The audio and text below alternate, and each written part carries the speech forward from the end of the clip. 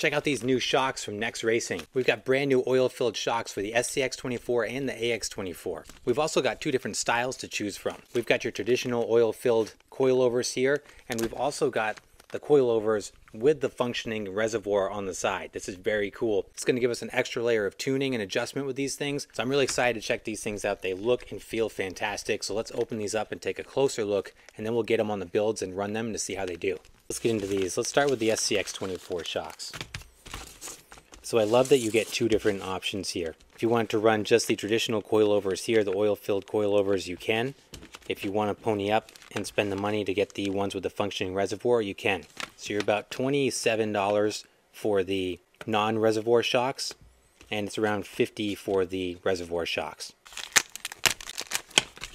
So very similar to stock length. This is a 36 millimeter eye to eye. Pressed length is 26.5 millimeters. NexxRacing says that this has more travel than the stock shocks, but also collapses to a shorter length. So let's take a look. I have a stock shock right here. So if we were to look at the two, it is longer. I feel like the compressed length is still a couple millimeters longer than the stock shock. Very, very close and a nice feeling shock. Fairly certain these come oil filled. Let's see if I can find out without making a mess here.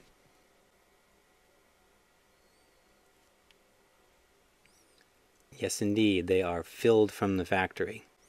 I probably just jacked this one all up, getting a bunch of air in there. But so you do get the preload adjustment on here, just like your traditional double barrels, your adjustable shocks. You got some adjustment there. The spring feels okay, still a little stiff for the SCX24. I might try these without the spring, but we'll run them as is just for now. Let's check out the reservoir shocks. So these are the same length. The shock body is the same as the non-reservoir shocks. I can feel the extra damping in here already. So this comes with the small Allen key to do your adjustments. So you're able to bleed these. We've got the bleeder screw right here. So you can, when you change your oil, you adjust your oil, you can make sure you get all of your air out here by using your bleeder screw right here on the side. But then the coolest thing is down here on the bottom of this reservoir, we can adjust this you know, by turning it in or out and get more or less damping out of the shock. Let's see if we can get sort of difference here. Turning it just all the way in for the heck of it here.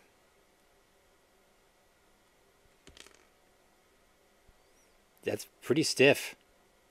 I mean, that's certainly a noticeable difference there. Let's back it out again.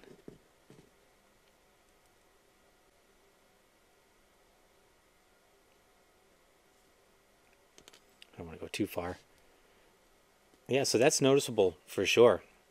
I have the still running the NexxRacing long travel shocks, the 18 scale shocks on the TRX 4M monster truck build. And I didn't feel like I noticed as much of a difference with these larger shocks as I did with the smaller ones, ironically. So we're going to put those on my scale build here. So this is running the Proline mini big bore scaler shocks on it. So I'm anxious to take the Prolines off and give these NexxRacing shocks a try because they look and feel very similar to the Prolines. So I think this is going to be a good comparison. Plus I think I'm going to get some extra travel out of it with these longer NexxRacing shocks. Now let's get into the AX24 shocks here. Now the AX24 shocks, although longer and more hardware here, they are the same price. So again, you're around 27, 28 bucks for the non-reservoir shocks and around 50 for the reservoir shocks. These are much longer, similar to the stock length on the AX24. These are 52 millimeter eye to eye. They're 36 and a half millimeter compressed length.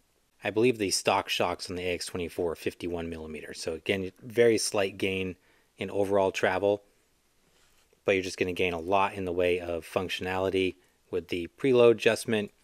Big Brothers here with the reservoir shocks.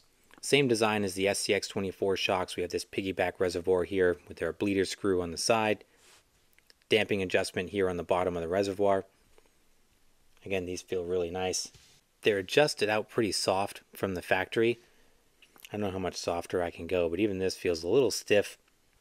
These feel stiffer than the SCX24. What's exciting about the AX24 is that if you wanted a long travel oil shock for your SCX24, you could grab these, which is exactly what I'm going to do on some other builds. We're going to demo them on the AX24, but I got a feeling I can find a nice home for these on some built SCX24, so I'm pretty pumped for this. So let's put these on a build. I'm going to start with the SCX24 first. I'm going to put them on my scale Gladiator. Then we'll do the AX24 and then we'll hit the course with them to see how they perform. So I'm going to get to wrenching and I'll circle back with you when they're installed. So I'm working my way through the install on the Gladiator build here.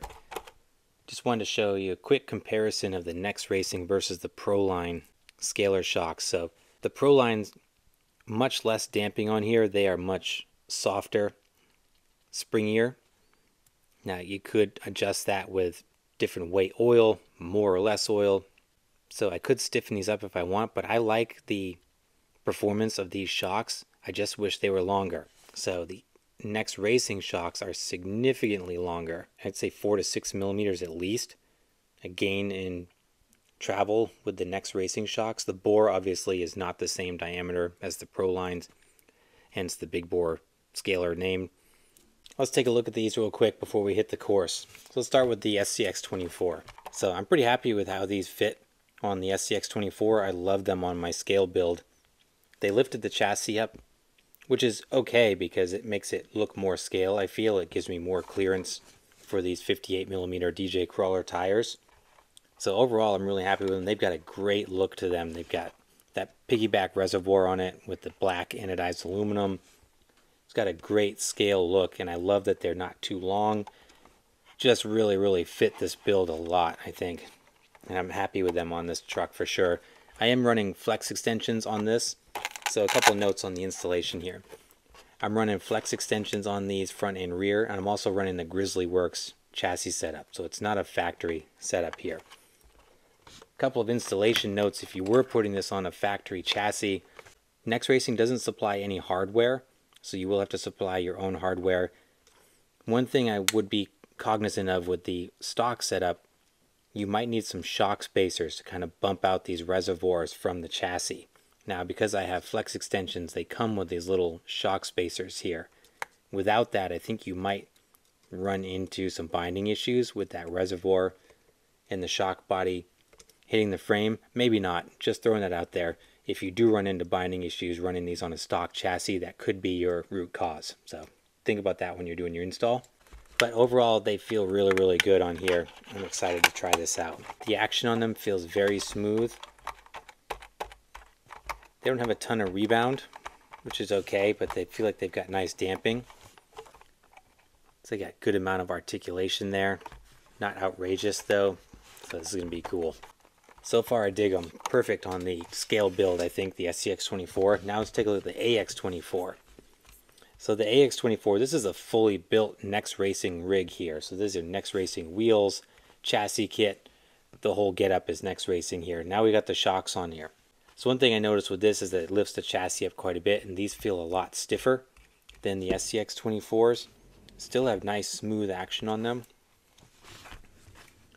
I just wonder what this is going to do to our performance because of the, the height that we've got out of this thing. One thing you'll notice too is that in a lot of my B-roll shots here, I had the shocks mounted on the inside of the chassis, which is where I had my stock shocks. And I did that because when you're at full articulation, the tires rub on the shocks when they're mounted to the outside of the chassis. You see that pretty severely there. But when I had these mounted on the inside, they were binding up significantly. So I had to relocate them to the outside in the front. So we might just get some rubbing on those shocks there. In the back, I still have them inside the chassis here, and they're working fine in the back. Look great on here. Again, I love the looks of these things. Very, very cool. So why don't we get these out on the course, and we'll see these shocks in action. Starting off with the Scale Gladiator build, let's hit the course here.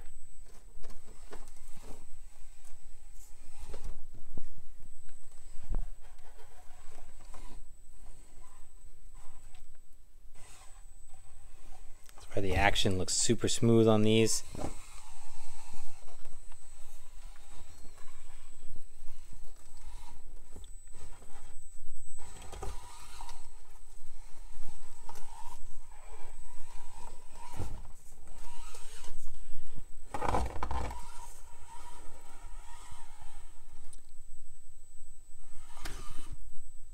Not noticing a lot of bounce nor a lot of body roll.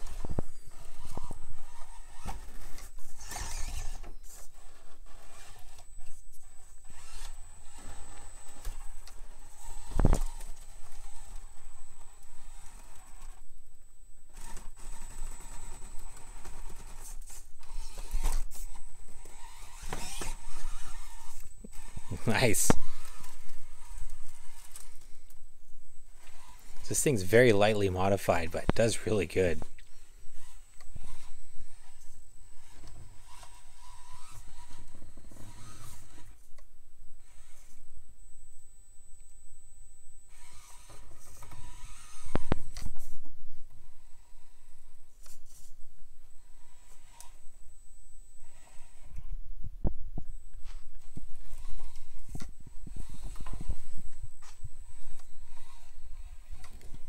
Front end sitting a little high there. They feel a little bit stiff, I think, but still, I'm very happy with them so far.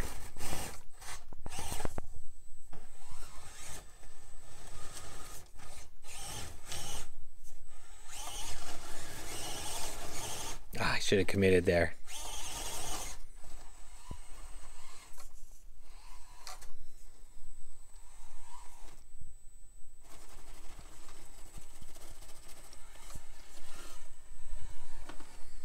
Think the extra travel and the height really helps this truck with the tires. Oh, cliff hanging. I think I'm going to save it. Wow.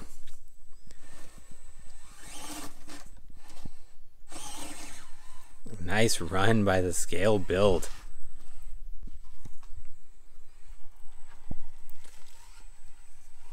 Just for the heck of it, just come across and do some side hilling here. Oh, it's good. Hang on. oh, wow. This thing's impressive. I want to try going up the chute, see if I get any torque twist or chassis twist going up here.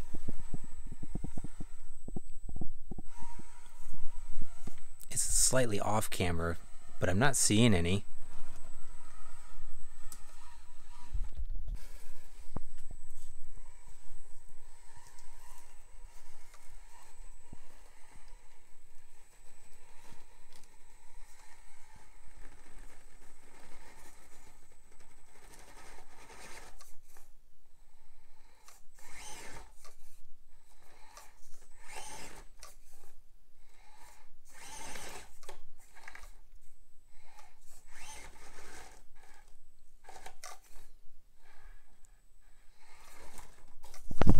Oh.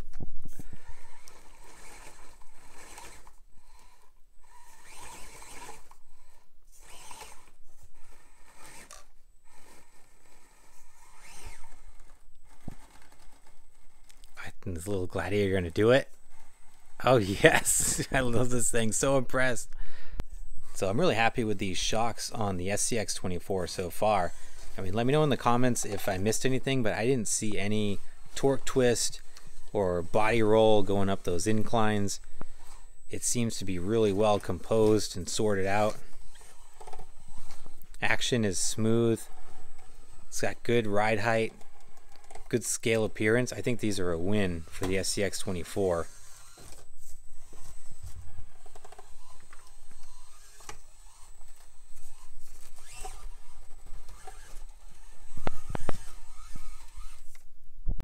And now the Angry Bird, the pterodactyl, the alien pterodactyl build. Look at this thing.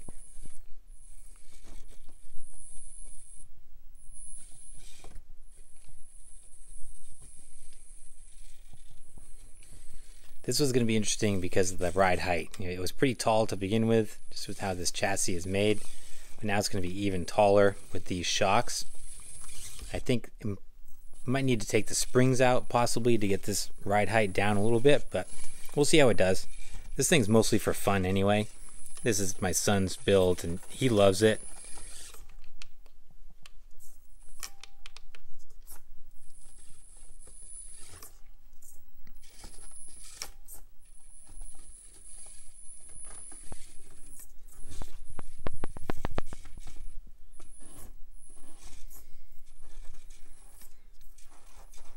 Shocks do look great on there, I gotta say. I love those long travel piggyback shocks.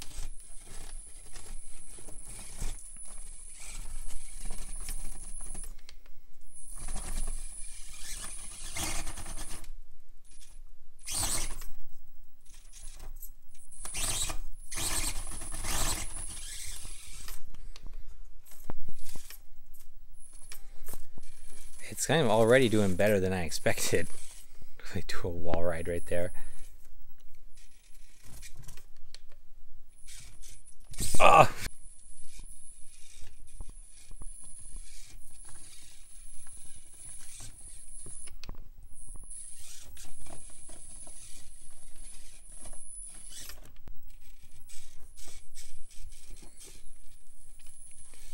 We held it on there, see if I can get down this decline here. Oh, yeah, there's that chassis height. Feel like that's what you're always combating with the AX24 is the height versus the stubby wheelbase. The way it carries its weight is just not ideal for crawling. Oh!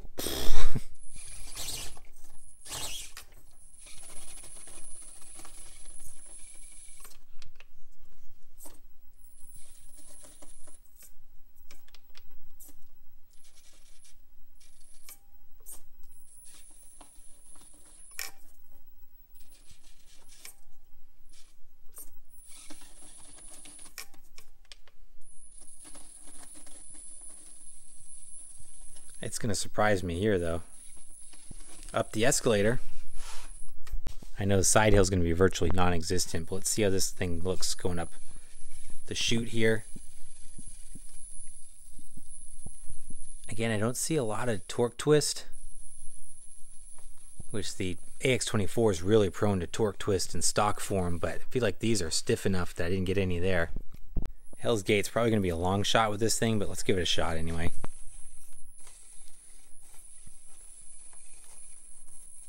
See, it's fighting the chassis height already.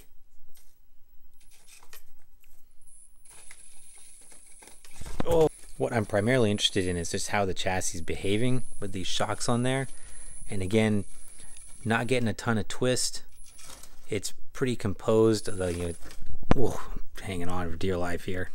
So I think if anything, these would certainly solve the torque twist and chassis twist out of the stock shocks.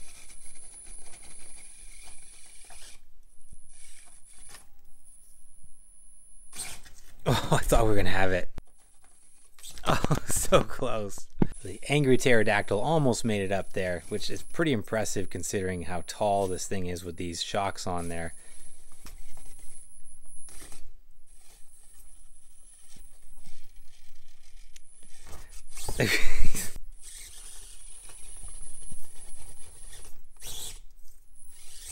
So this thing definitely needs some work chassis wise, but I feel like these shocks have a lot of potential.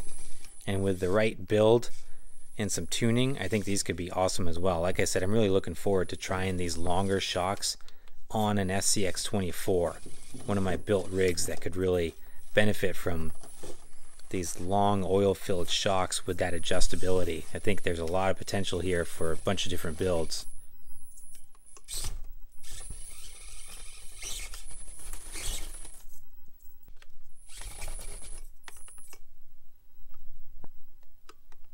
Oh, I think my battery died right there.